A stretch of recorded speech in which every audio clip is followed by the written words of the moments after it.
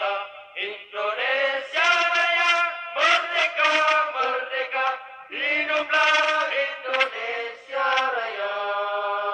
Indonesia Raya Merdeka, merdeka.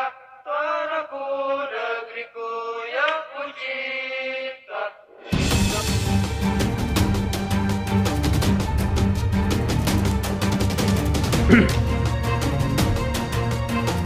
Assalamualaikum warahmatullahi wabarakatuh. Saudara-saudaraku sebangsa setanah air yang saya cintai saya banggakan. Video ini lagi viral.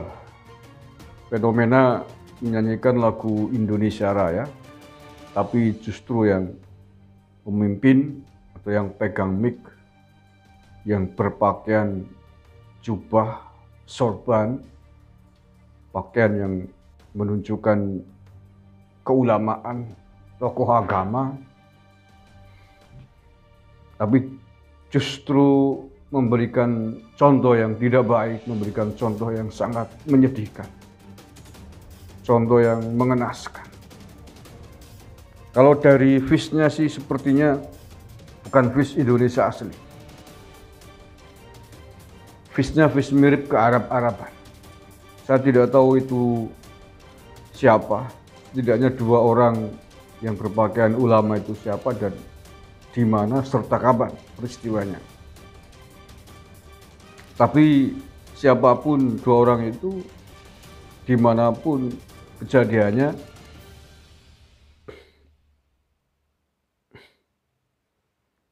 cengengesan bergurau ketika sedang menyanyikan lagu kebangsaan Indonesia Raya, sungguh sikap yang sangat tidak etis, sikap yang sangat tidak sopan, sikap yang melecehkan lagu kebangsaan kita, melecehkan bangsa kita. Dan tentu ini sangat-sangat kita sesalkan, sangat kita sayangkan bahwa itu dicontohi, dicontohkan oleh orang yang berpakaian berbaju ulama. Kalau ulamanya begini, seperti apa santrinya, seperti apa jamangahnya itu ya.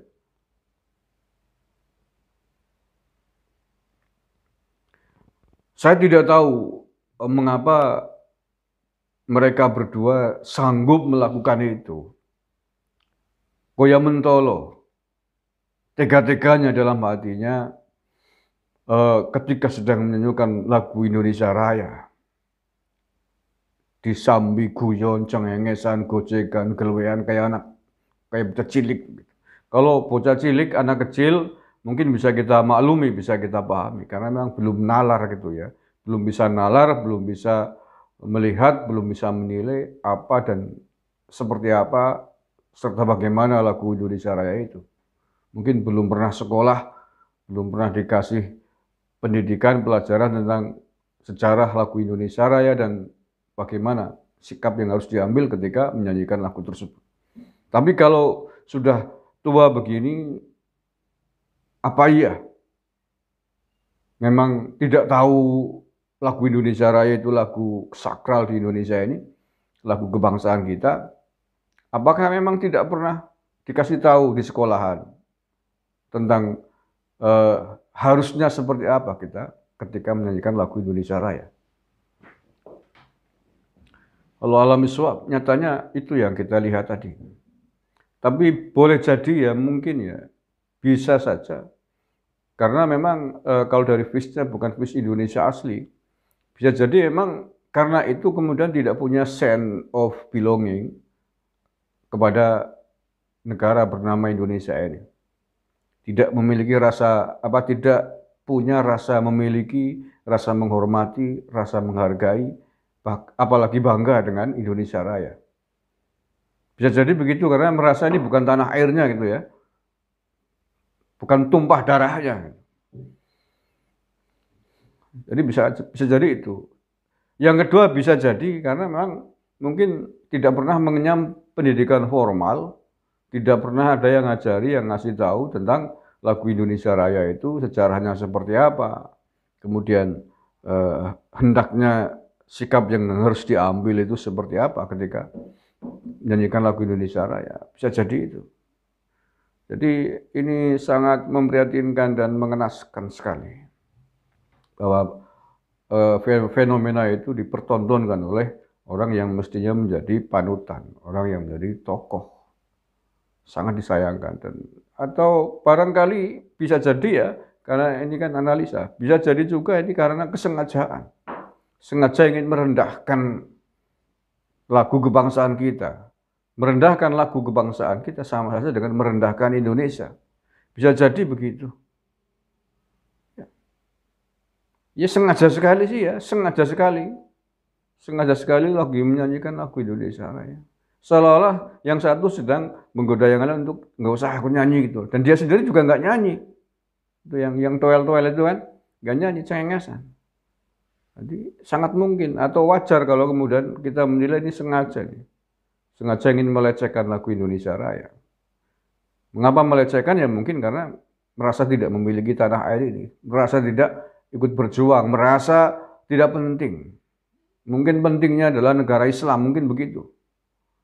Kalau orang-orang yang sudah terpapar uh, virus uh, apa radikalisme orang-orang yang sudah terpapar kehendak ingin mengganti sistem NKRI ini dengan hilaf bahkan memang mengharamkan Indonesia Raya. Banyak kan kelompok radikal di Indonesia ini sudah bukan barang baru lagi, bukan barang yang uh, rahasia lagi, bahwa di antara mereka memang ada yang mengharamkan lagu Indonesia Raya, mengharamkan hormat merah putih, mengharamkan upacara bendera.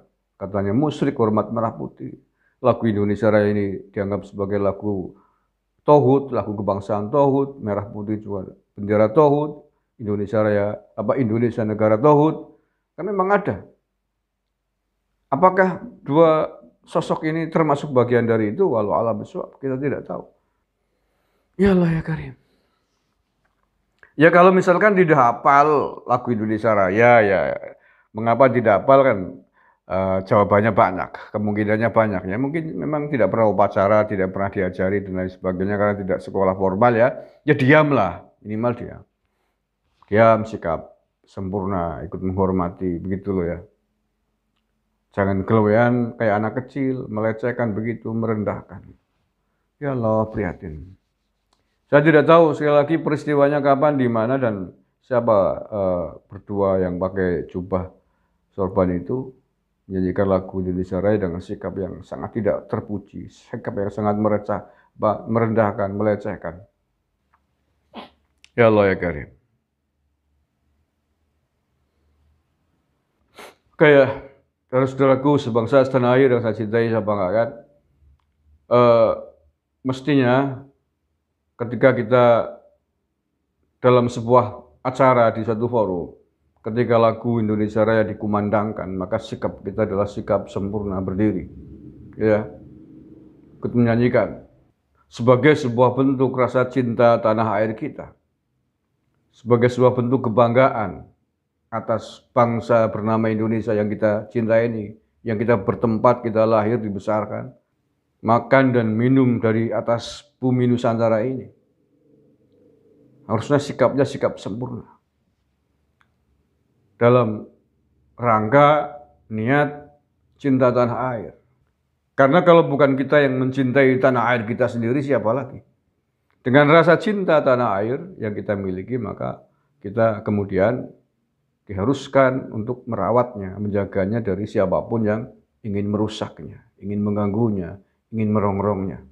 Itulah makna dari hubbul waton minal iman. Cinta tanah air ini sebagian dari iman. Cinta harus dibuktikan di antaranya, di antaranya adalah tadi kita hikmat, kita menghormati, kita senang ketika lagu kebangsaan itu dinyanyikan dengan sikap-sikap yang semestinya.